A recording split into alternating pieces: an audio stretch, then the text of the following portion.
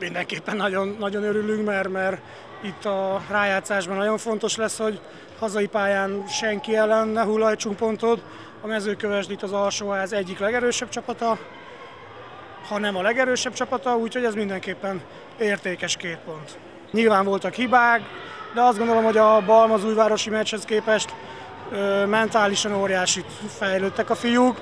Ma nagyon lelkesek voltak, és nyilván a hibákat pótolták akarattal, lelkesedéssel.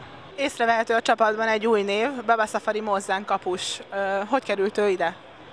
Baba az utolsó pillanatban érkezett hozzánk, azt gondoltuk, hogy a, hogy a, a Misi nem váltotta be sajnos a hozzáfűzött reményeket, nyilván sérülés, először volt felnőtt csapatba, agyon nyomta a tét, én azt gondolom itt a, a, a kiesés elni harc. Baba egy idősebb, rutinosabb kapus, nemzetközi meccseken is játszott.